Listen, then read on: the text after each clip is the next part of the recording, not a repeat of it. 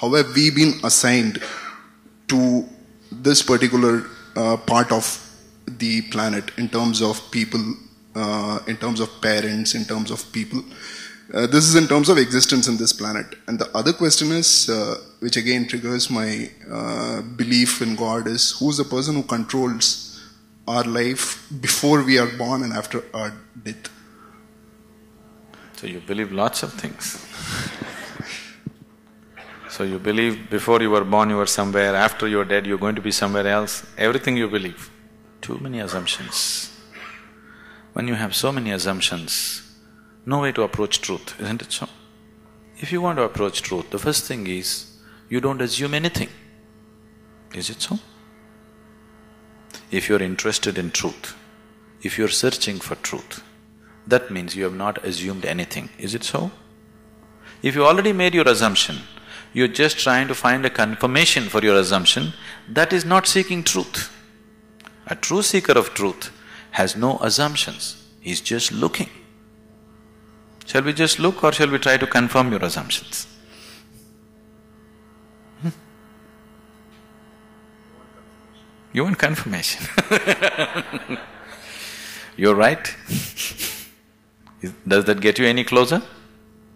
If I tell you your beliefs are right, does it get you any closer to truth? Does it? You feel better. Oh, okay, I've been right. But nothing so gets solved, isn't it? Life doesn't get solved, does it? No.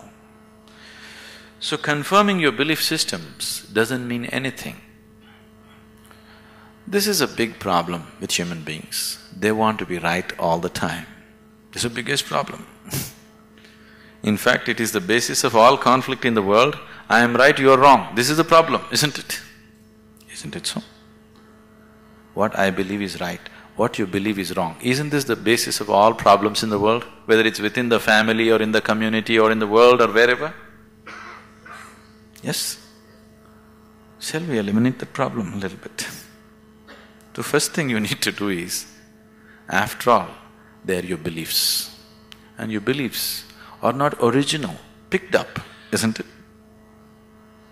Your priest or mullah or father or mother, somebody put it into you, isn't it so? Picked up from somebody. It depends how powerfully they worked on you and they work pretty powerfully because the business is at stake otherwise. So, what you assume may have nothing to do with reality. Now, you're trying to understand something which is beyond the physical, with physical context, it won't happen. You're trying to perceive something which is beyond physical through sense perception, such a thing cannot happen. Now you want to measure the depth of the ocean, but you went with a foot scale. You will obviously come with wrong conclusions, isn't it so? If you want to measure the depth of the ocean, your first business is to get the right kind of instrument. Yes? Yes or no? That's your first business, that's all I'm saying. You want to know something beyond the physical. First thing that you need to do is to have a perception which is beyond five senses, which can perceive that which is not physical. Only then you perceive. Otherwise, you can only believe or disbelieve, isn't it? If I tell you, God is actually in my pocket, this many people can believe me? This is a ridiculous thing, oh, we don't believe that, but I can tell you a more elaborate story if you want, which we can work on and make you believe in, isn't it? Right now, God is in my pocket. This many people believe me, this many people disbelieve me. Have these people gotten any closer to God than they were before? Have they? Or have these people gone any further away? No, nothing changes, isn't it? So why are we wasting our time trying to confirm our assumptions? You must enhance your perception because only by perceiving you will know, there is no other way to know. Is it so? You will know anything only when you perceive it, till then you do not know it. Is that a reality? Is that a reality? People who are not on talking terms with me, is that a reality? If you perceive, you know. If you do not perceive, you do not know. You're unwilling to admit, I do not know, so you believe, isn't it? If you're just trying to pass the social test, belief is a good way to do it. But you want to really know, then belief is not a good way to do it. Belief gives you confidence. And fools getting confidence is dangerous. Do you understand? When idiots become very confident, it's very, very dangerous, isn't it so? Do you see? Intelligent are hesitant. Stupid are confident. Have you seen this? great confidence.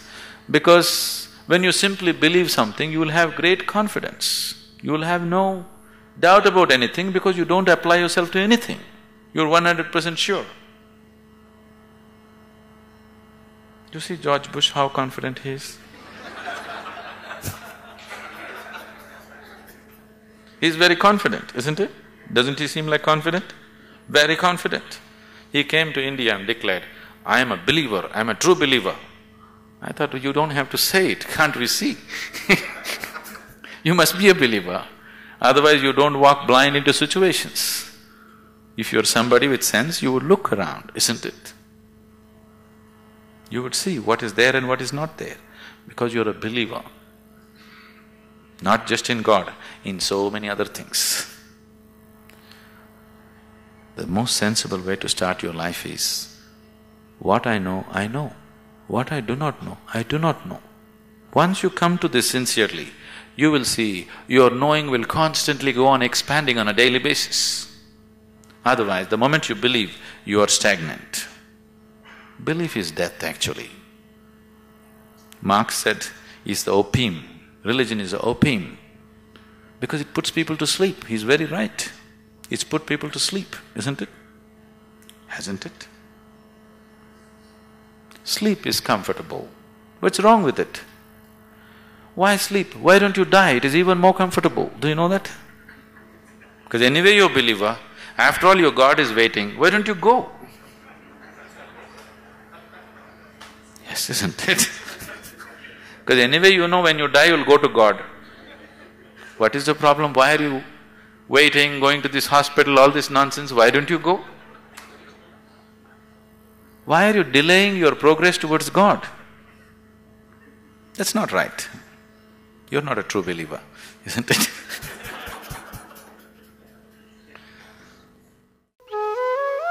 For more on Sadhguru, visit www.ishafoundation.org.